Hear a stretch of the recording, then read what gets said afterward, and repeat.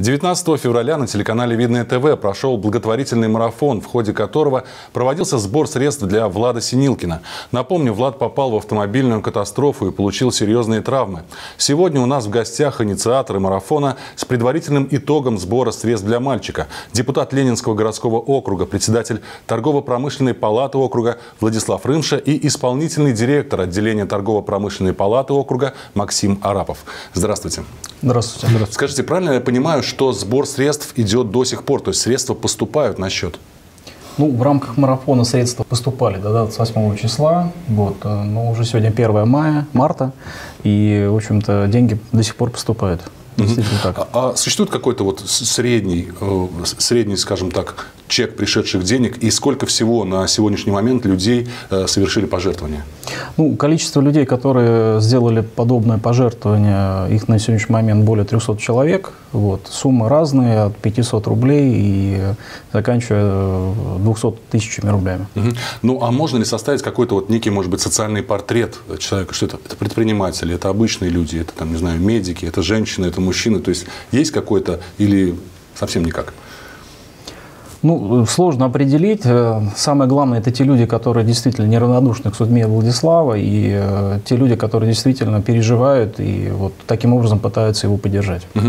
Ну, я знаю, что уже какие-то суммы э, отправляются для того, чтобы покупить, купить какие-то средства реабилитации. Так ли это?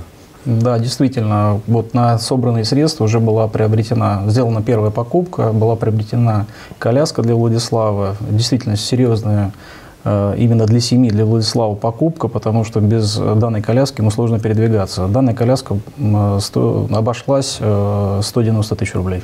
А всего, вот, наверное, самый главный вопрос, сколько всего было собрано и какова сумма, может быть, необходимая была Дойдет ли до этой суммы в конце концов? Ну, мы вообще рассчитывали, что мы дойдем до миллиона рублей. Вот такая была цель. На сегодняшний момент собрано более 800 тысяч рублей. Вот. Но я надеюсь, что если деньги до сих пор поступают, и наверняка они будут поступать, э, скорее всего, мы до этой суммы доберемся. А как люди, вот помимо нашего марафона, понятно, там, э, скажем так, били во все колокола, и понятно, что люди видели это, и э, люди отправляли деньги. Сейчас, на ваш взгляд, как люди узнают об этом? Это какое-то сарафанное радио или что? Ну, Максим. Да, это уже на самом деле сопереживающие люди, которые отправили деньги, это активисты, общественники, депутаты нас поддерживают в социальных сетях. Они уже распространяют через свои контакты, через э, свои социальные сети а, сегодняшнюю повестку, и, соответственно, оттуда уже поступают денежные средства. Так как Владислав правильно сказал, что 28 числа мы свой марафон и э, оповещение прекратили, но люди подхватили эту волну, и по сей день, даже на сегодняшний день уже идут те же самые поступления, не останавливаются. Угу. Ну, я думаю, что на самом деле и наша вот эта небольшая встреча, вот это определенное подведение итогов тоже, может быть, окажет какое-то информационное воздействие на людей, и кто-то, может быть, тоже, посмотрев наши новости, решит сделать вклад в доброе дело. И я предлагаю вам, наверное, обратиться к людям, может быть, с какими-то добрыми словами, со словами, э, с одной стороны, благодарности, а с другой стороны, может быть, призыва принять участие в этой замечательной, на мой взгляд, акции. А, дорогие друзья, общественники, люди а, общественного мнения, лидеры общественного мнения, а, депутаты, люди, которые неравнодушны, телеканал «Видное ТВ». И у нас очень много разных направлений, кто этим занимается. Дарья Филатова. Всем вам огромное спасибо за помощь, за поддержку. Без вас э, мы бы не справились, это совершенно точно. Э, я хочу сказать, что мы занимаемся хорошим делом. Вам огромная благодарность. Ну и, соответственно, нашему бизнесу это отдельные слова благодарности, которые э, никогда не остаются в стороне, не остаются равнодушными. Это социально активный бизнес, социально ответственный бизнес. Вам отдельная честь и хвала. Спасибо.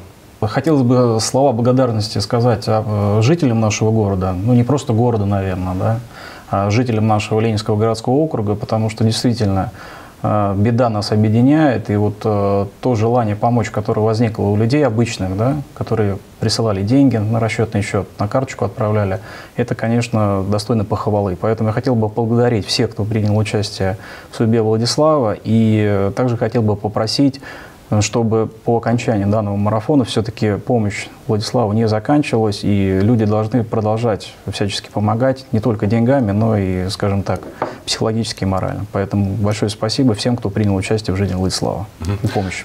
Ну, я, в свою очередь, наверное, тоже хочу сказать от своего лица и от лица своих коллег, э, сказать спасибо вам, как инициаторам этого замечательного марафона, и спасибо сказать всем тем людям, которые приняли в нем участие.